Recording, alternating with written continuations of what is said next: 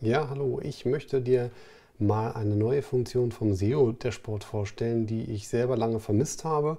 Und nachdem ich mir das Ganze jetzt in den letzten Wochen mehrmals selber zusammenklicken musste, habe ich es einfach ins SEO Dashboard übernommen.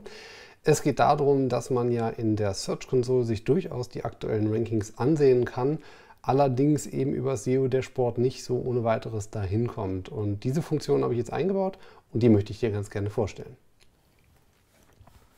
Ja, ich schaue zuallererst mal in den alten Workflow rein, damit ihr mal wisst, was ich eigentlich meine. Und zwar im SEO-Dashboard gibt es ja hier ganz oben bei der Google Search Console die Suchanfragen für entweder für den Hostname oder eben für die exakte URL, auf der ich mich gerade aufhalte.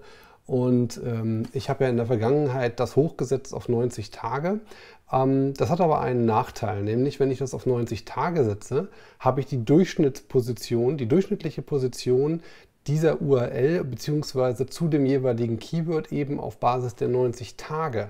Das heißt, wenn ich eine Verbesserung meines Rankings ähm, bekommen habe, konnte ich das unter Umständen in diesem Report gar nicht sehen. Ich zeige dir das mal im Detail.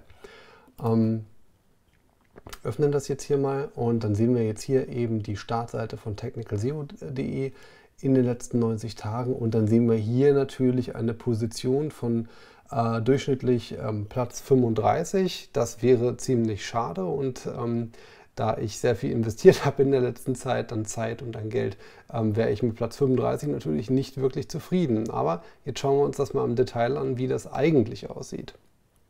Und jetzt gehen wir mal wieder zurück und öffnen jetzt mal die neue Routine im SEO-Dashboard, nämlich die aktuellen Rankings. Die aktuellen Rankings vielleicht ganz kurz zum Hintergrund. In der Search Console habe ich ja immer zwei Tage rückwirkend die Daten. Das heißt, ich habe sie natürlich nicht tagesaktuell, allerdings eben so aktuell, wie es eben irgendwie nur geht in der Search Console. Und diese kannst du jetzt eben über diese Routine aufrufen. So, ich klicke jetzt hier mal drauf. Auch hier ist wichtig, ich habe immer die exakte URL, weil das macht wenig Sinn, hier ein Hostname zu separieren, weil wenn ich auf der Startseite bin, bekomme ich eben die entsprechenden Rankings für die Startseite angezeigt ähm, auf den Tag genau. Und deswegen habe ich das hier einfach nur auf exakte URL gemacht. So, jetzt klicke ich mal drauf und jetzt sehen wir hier auch schon, Zeitraum ist, ähm, wie gesagt, der letztmögliche Zeitraum, der eben geht, nämlich heute vor zwei Tagen, der 14. November. Und ähm, hier sehen wir jetzt nämlich die entsprechenden Rankings und dann sehen wir hier auch Position 2,6. Das heißt, es entspricht auch mehr oder weniger dem aktuellen Stand, wie mein Ranking gerade ist und nicht mehr wie in dem vorherigen Report die Platzposition äh, durchschnittlich 35. Weil, wie ich schon sagte, das ist sehr irreführend und stimmt vor allem nicht.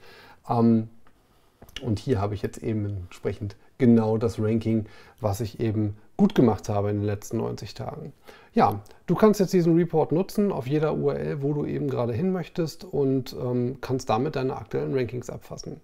Wenn dir das Video gefallen hat und vor allem das SEO der Sport, dann freue ich mich natürlich, wenn du es installiert hast. Sofern du es noch nicht hast, solltest du es tun. Und ähm, ja, von den Videos gibt es jetzt in Zukunft mehr. Und ja, freue mich auf dein Feedback und wenn dir irgendwas fehlt im SEO der Sport, lass es mich wissen. Danke, ciao.